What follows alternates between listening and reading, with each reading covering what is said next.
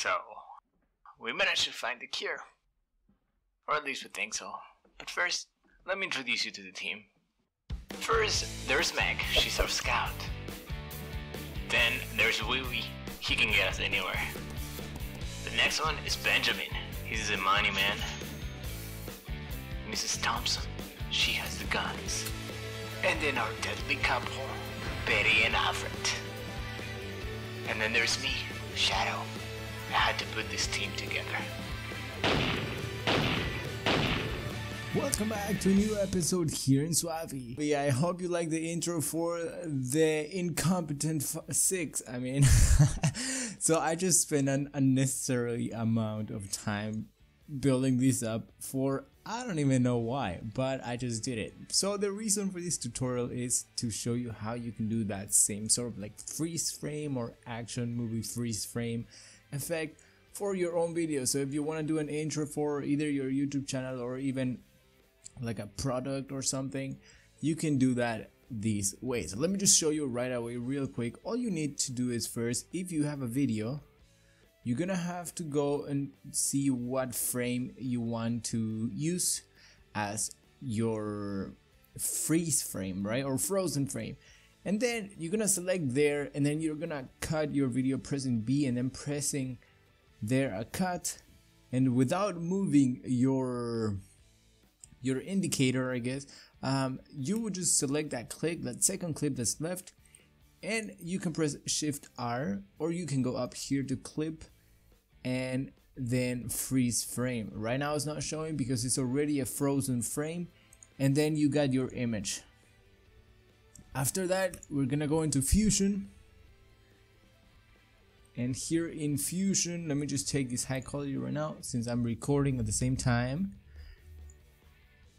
We're gonna create a copy so Ctrl C and Ctrl V it automatically creates a merge node.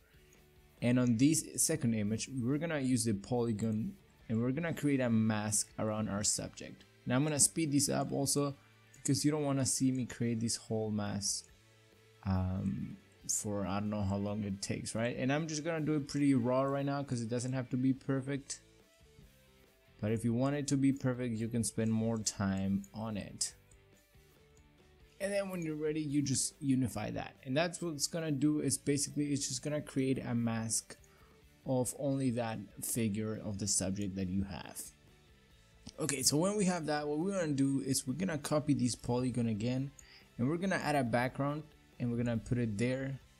We're gonna move this a little bit like this. And we're gonna connect these two right here. Whoops. After connecting these we can select the polygon in the background and we're gonna check the solid out. And we're gonna increase the border width a little bit and we're gonna change the color of our background. So if the polygon shape is uh, not completely right on the side of your subject you can make these a little bit bigger. Whoop not that much uh, so that it covers all the space between. And since we are doing it pretty raw right now like like just without paying attention to too many details we're gonna leave it like that. So you adjust the border width so you can add that border thing. Then the next thing that you want to have is you're gonna press ctrl m or shift m and you're gonna add a transform node and we're gonna add a, animate this size. So we're gonna go here at zero and then at, at let's say six we're gonna increase it to to a little bit 1.05 I guess. And then we're gonna go all the way towards the end and make it go a little bit smaller so it slowly decreases so it never actually stops moving. So it adds a little bit to the it just adds a little bit of a cool effect that it's moving. And you can also add a motion blur to it if you want. Put an 80 or 130 depends on what you want. You can experiment with it. Then the next thing we do is you can have an image. Um, let me do let me use, use this one. You can go to google and look up for ink splashes and simply just copy and paste them and download them. There's a bunch of ones that you can use for free even on commercial projects and then on google you get your image that you want. And we're gonna animate this image too. So we're gonna add the transform node to it. We're gonna go to zero. We're gonna make this splash to go a little bit quicker than the other than our figure. So and we're gonna make it bigger too. So it's gonna be a little more like impactful I guess. And make sure that at zero this is at zero. Like that then one another thing you can do is you can also add another background effect uh, node here.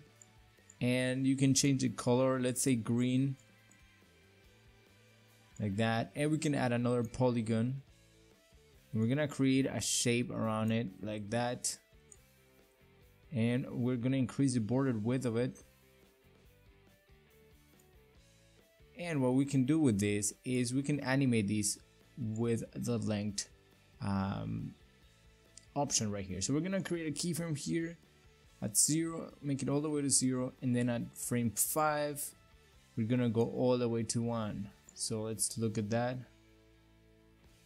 Like that. And we can also oops not there. And we can also when that is ready we can also go to frame 5 and we're gonna go to size here and then go all the way to the end and we're gonna increase this, the size of it slightly so it slowly keeps moving forward like everything else is sort of like still moving around right then the next and last thing that we need to and you can add as many details as you want obviously and then the last thing that we need to do is we need to add the text. You can choose to add the text in front of your subject or behind your subject. But since we are working with all this stuff behind, I think we're gonna add it behind our main subject and be and have our text up here. Or we're gonna make the text be really big and it's gonna be in front of all these splashes and all that stuff. So we're gonna grab our text node and connect it here. It's gonna create a new merge node and we're gonna write shadow because shadow that's that's that character I guess. And we're gonna make it big like that's covering everything. You can select your favorite type of font. Let's see this one. Yeah, like this one. I'm gonna make it a little bit smaller. I wanted the these letters, these characters, to be really tall.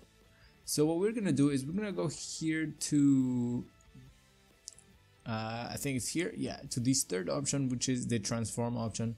And we're gonna increase the size right here and then see how that looks. It might look a little bit crazy depending on the on the type of font that you're using right so that's when you want to check out to see what looks best. And then we can also change the color of this. Let's say let's make it black. With that being black it sort of like hides in the shadows right? Hiding no pun intended.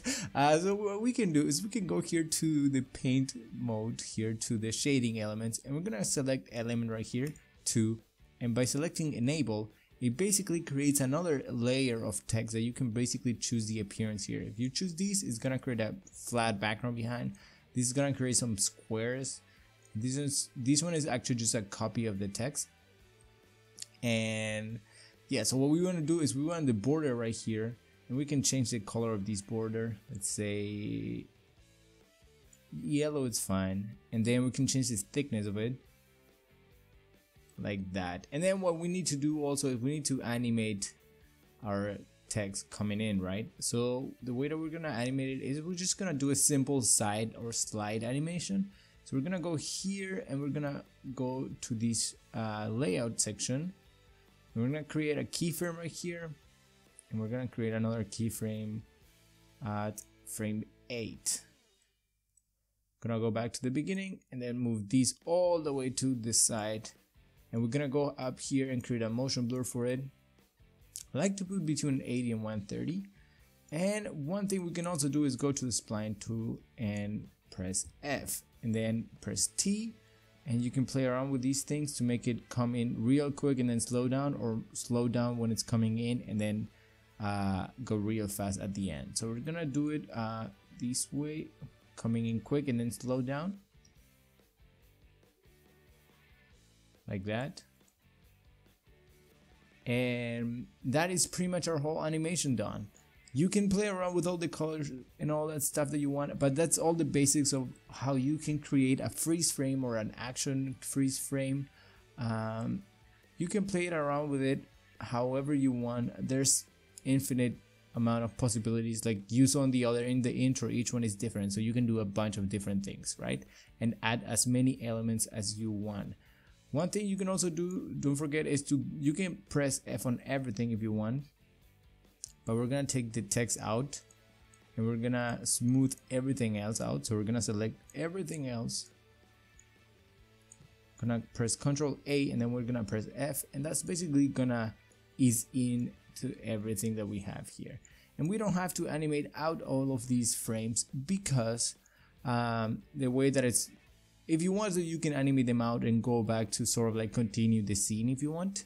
Um, I can make another video showing that type of effect. But in this one since we have like straight up cuts it doesn't really matter. Or you can put a transition there. Uh, yeah. So that is pretty much it for this video. I hope that you enjoyed it and I hope that you find it cool and that you can use this effect if you have the need for it or that you just do it for fun if you wish to do so. So I hope to see you in the next video here in SUALVI. Once again, thank you so much for watching. Don't forget to leave a like if you like this content and comment down below what you thought about this cool trick. Anyways, I hope to see you in the next episode here in SUALVI.